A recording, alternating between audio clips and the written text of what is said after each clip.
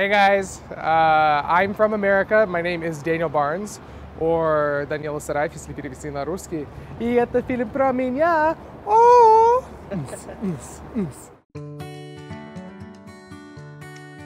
На самом деле я не планировал никогда приехать сюда.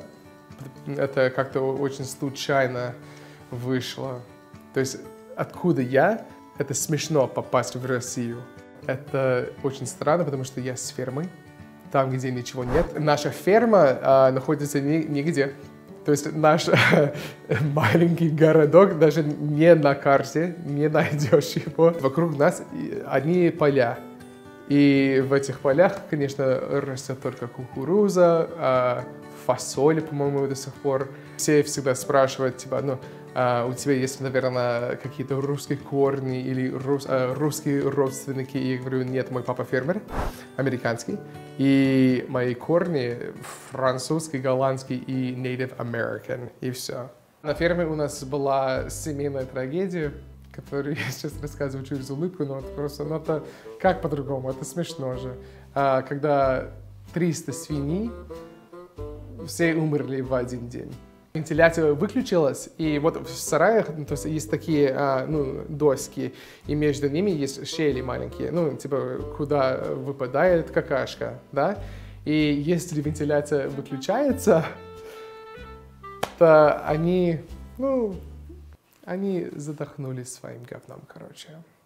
Тогда в 2008 году я окончил high school, то есть э, школу, и понял, что мне нужно выбирать, чем я хочу заниматься по жизни, кем я хочу быть. И у меня были выборы э, химический инженер или актер. Почему так, да фиг его знает. Но я, если честно, где-то читал статью, что э, самое самое большое количество самоубийц бывает у инженеров, а именно у химических инженеров. И я говорю, я говорю, пап, ну, наверное, не стоит стать тогда химическим инженером. И, естественно, родители расстроились, они очень хотели, чтобы я стал инженером. Но я понял, что я очень хочу поступить на, ну, как-то, ну, я хочу учиться на актера. И типа наш компромисс с родителями было, что хорошо, я буду учиться и на актера, и на кого-то еще. В конце четвертого курса в институте мой педагог по актерскому, кстати, эта женщина, она первая жена Константина Райтина, она создала курс для американцев в ГИТИСе, предложила мне поступить туда. Но опять же я сказал, что я, я не хочу, я хочу в Голливуд. Она сказала, да нет, попробуй.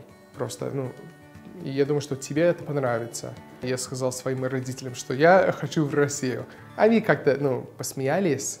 Я не знаю, я думаю, что они были в шоке просто, потому что это, это не, тот, ну, не то решение, которого они ожидали от меня. Когда я сказал, что я переезжаю на полтора года, это было чуть по-другому. Они как-то, ну, ты уверен, что ты этого хочешь?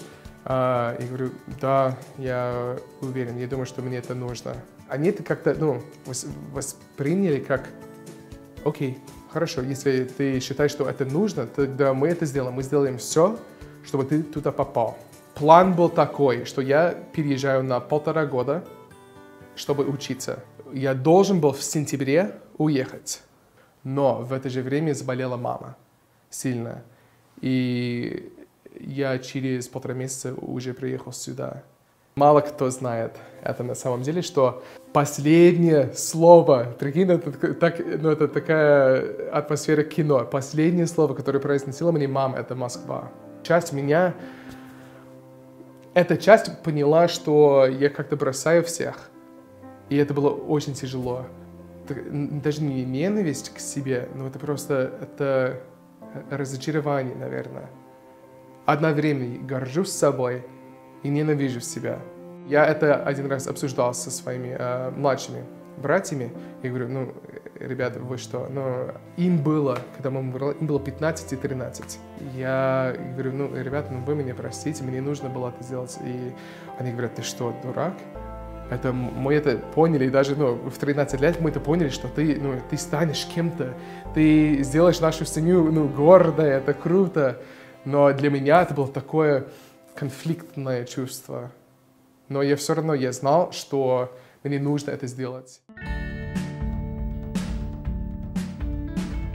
Когда я приехал сюда, а, я даже алфавит не знал. Я помню, что я впервые увидел а, букву «Ж», и как-то что это за маленький человечек вообще. Первый день на русском курсе в ГИТИСе это было ад, это был ад просто. Мне было так стыдно, что я не знаю язык. Я не знаю, это, наверное, меня как-то вдохновило, этот стыд. И я каждый день чем-то занимался. Либо я куда-то пошел с друзьями, выпил с ними, общался только по-русски. Или я смотрел всякие сериалы, которые ужасные. Как много я работал. Если русский мой однокурсник работал столько, я работал столько. Почему? Это не то, что типа, ну, он просто плохо работал. Нет, он работал столько, сколько ему нужно было. И мне нужно было больше, потому что я не знаю этот язык. Летом учился в институте э, Пушкина, по-моему, называется. Это институт русского языка на Беляеве. Это 8 часов в день, когда ты просто изучаешь всякие... Все, что я помню оттуда, это глаголы движения. Типа, я иду, я э, еду, я хожу, э, объеду, съезжу, и все это такое, и это было дико тяжело. Я плакал много, и я, я помню, что я звонил папе и говорю, папа, папа, я больше не могу, пожалуйста, ну, а, купи мне а, билеты домой. У него нет ну, своих денег на это. И я помню, что он сказал, если ты хочешь бросать все, к чему ты уже работал, тогда ты сам себе купишь билеты. Я говорю, да ладно, хорошо, хорошо.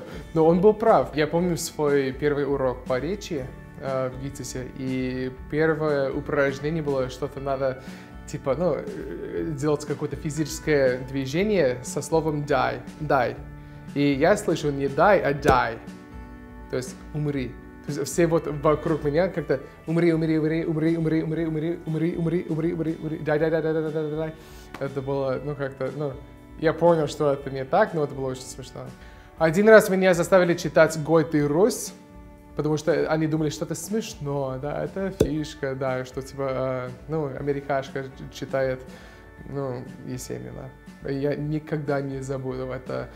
Гой ты, Русь моя родная, хаты в ризах образа, не видать конца и края, только синь сосет глаза.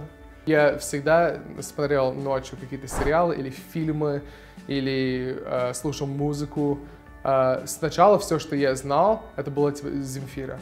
Были какие-то песни, которые мне понравились, были какие-то, которые мне не понравились, я не помню. Еще все типа Киркорова слушали, Пугачева, Высоцкий, uh, кого еще я слушал? Любое. Мне было важно immersion, чтобы прям как-то ну, быть постоянно в языке. Наверное, первое, чему меня научили русские друзья, это русский мат, естественно, потому что с таким акцентом это смешно всем, когда я матерюсь. А, любимая у меня фраза это, конечно, пиздец подкрался незаметно. Почему? Потому что это моя жизнь. И вот перевести эту фразу «пиздец подкрался незаметно» э, на английский это невозможно, потому что это получается типа «this shit snuck up on me». I don't know. Не знаю. And so then what I decided to do was stay uh, Следующая новость э, такая. В нашем театре... Да хватит, Я знаю русский.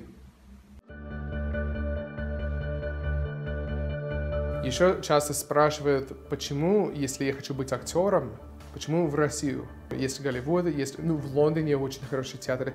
Говорят, еще в Польше и в Германии сейчас э, растет театр. Поэтому почему в Россию? И я всегда в ответ задаю следующий вопрос. Если ты хочешь стать лучшим поваром в мире, куда ты едешь? Ну, всегда кто-то отвечает во Францию или в Италию. И чтобы быть лучшим актером в мире, я считал, что это правильно сюда приехать. Тут Станиславский, тут э, все. Ну, тут, э, и на самом деле американская система, допустим, актерства или театра или кино, это все мы, ну, грубо говоря, украли от России. Ну, у нас, конечно, есть свои фишки, ну, своя система уже но это все как-то было связано с Россией, я считаю. Русский театр — это искусство. Даже если спектакль кому-то не нравится, даже если там какие-то, ну, не самые лучшие постановки, тут это, они относятся, относятся к этому как к искусству. Тут, когда я снимаюсь, я обычно играю э, иностранцев. Если мне предлагают, это всегда эпизод. И это, ну, а, это было нормально в начале, сейчас уже как-то напрягает, потому что э, я уже сколько раз могу играть журналиста 2. Это было трижды, я играл журналиста 2, кстати. Э, это просто моя роль. По мне, ты видишь просто journalist. Если несмотря на то, что я играю только эпизоды постоянно, uh, я снимался у кого? У Бондарчука, у Папа Гребского, uh, у... Где еще я снимался? Ну, в отеле Элеоны, в девчонках, uh, в Малсказе, в рекламе Хайнекена. Это была моя первая работа тут. Это было на втором курсе, когда я вообще не знал русский язык. Ну да, хорошо. Я недавно снимался в рекламе Мирамистина. Yes, Rami. Miramistin. Мне нужны были деньги в этот момент, когда мы снимали его. Uh, действительно нужны были деньги, поэтому я согласился и сказал, ну хорошо, мы это сделаем. Ну, отснялся uh, за, ну, по-моему, 20 минут я там был и все. И еще я работаю сейчас э, в онлайн-школе английского языка Skyeng. Рубрика «Не русский английский», и я веду всякие видосы про английский язык.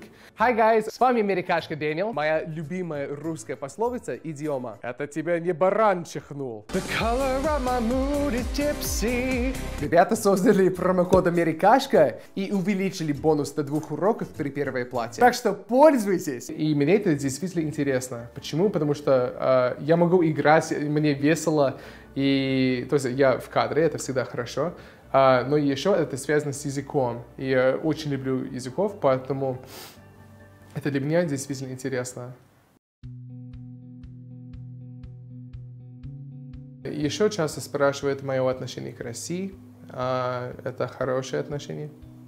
Но я очень люблю эту страну, так же, как я люблю свою родину. Когда я путешествую, я как-то, я, я чувствую душу города или отсутствие души. Кому-то очень не нравится Москва, но мне нравится. Все говорят, что в Америке у вас, наверное, ну, нет таких подъездов, как у нас. Я говорю, ребята, в Нью-Йорке тоже не сахар, тоже какие-то проблемы с подъездами, и успокойтесь. Чем отличаются русские от американцев?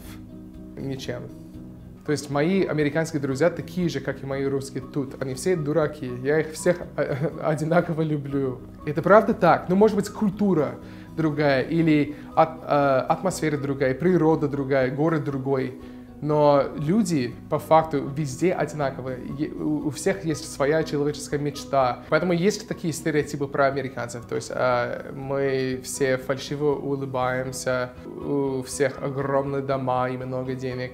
Мы очень тупые, э, любим только, только, только фастфуд и бургеров, думаем только о сексе. Э, у нас оружие повсюду да, в стране у нас огромный, а, огромная проблема с оружием. Это, ну, это напрягает, правда, но это, это просто такая ситуация. Ну а то, что мы едим только фастфуд, да, едим фастфуд. Но и все тут тоже уже едят фастфуд. Я вижу, ну, в KFC столько людей уже там. И это не только иностранцы, ребята. Это русские люди. Господи, я не знаю, мы точно так же готовим дома, как и вы тут. Я по своим американским друзьям, наверное, не скучаю. То есть я не активно типа, а, я так скучаю по ним. Нет, но это, ну, это не то, что я их не люблю, я их, ну, безумно, безусловно люблю. Но это просто я такой человек, что я обычно ни по, ни по кому не скучаю, только по своим братьям и по своему папе. Иногда я думаю, что если бы я остался в Америке, я действительно стал бы уже известным, да, играл бы с Брэд Питтом, э, с Робертом Де Ниро, уже с Ал Пачино. Э, но я, я чувствую, что я на правильном пути сейчас. Помню даже, когда мы показывались э, везде, и мне везде сказали, что ну, ты нам не нужен. Это больно любому человеку, правда. Но я помню, как тогда я даже ну, выговорить ни одно слово не смог. А теперь я играю главную роль в театре имени Ермоловой, где ну, худрук Олег Меньшиков. Это так круто. Но это не значит, что это легко было мне. И до сих пор нелегко. Ну, э, меня не узнают на улице. Это, ну, жалко, конечно. У меня такое запоминающее лицо. Почему? В чем проблема? Хвастаться не стоит, но я имею право уже гордиться собой. Я не говорю э, без ошибок. Я не говорю отлично. Я еще не вышел на красную дорогу кинотавра. Ну, жду. Я становлюсь лучшей версией себя. И это для меня, это правильно. Когда я был ребенком, я всегда думал, что не, я просто хочу пом- помочь людям. И если это через смех, это ради Бога. Если это через драму, это ради Бога. Быть хорошим актером, это значит быть хорошим человеком.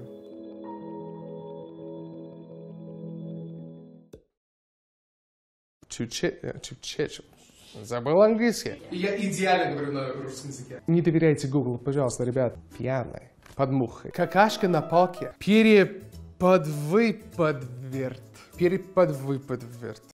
Хотя мы можем еще сказать, что эти тени — это dark circles, темные круги, или bags, сумочки.